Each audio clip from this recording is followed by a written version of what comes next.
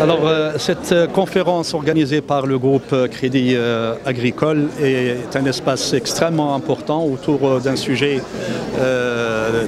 d'importance capitale pour la création d'emplois dans le milieu rural, donc autour de l'entrepreneuriat des jeunes et l'encouragement à l'entrepreneuriat dans le, le, secteur agricole et dans le milieu rural. Alors il s'agit d'un sujet au centre euh, de euh, la génération Green, qui est la nouvelle stratégie de développement agricole pour les dix prochaines années et que Sa Majesté, que Dieu l'assiste, a lancé euh, en 2020. Et dans son premier fondement, la stratégie focalise sur l'élément humain et sur l'émergence d'une classe moyenne agricole et, rurale. L'attractivité du secteur agricole et du milieu agricole de manière globale est du euh, milieu rural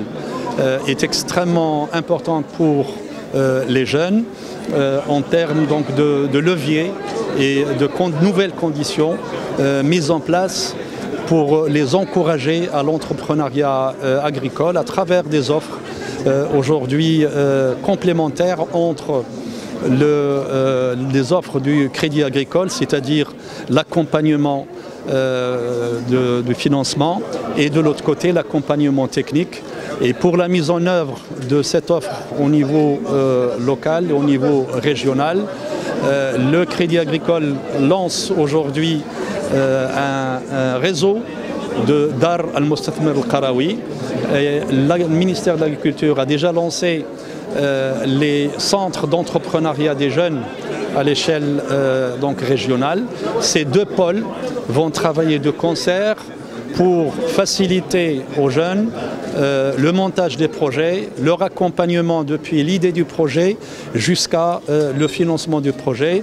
en saisissant l'ensemble des offres existantes et des appuis, l'incitation de l'État, mais également un accompagnement par rapport au financement avec des conditions préférentielles. Good.